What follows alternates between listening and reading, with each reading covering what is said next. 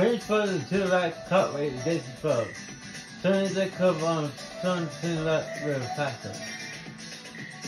Turn to the remote, balance two zero one break.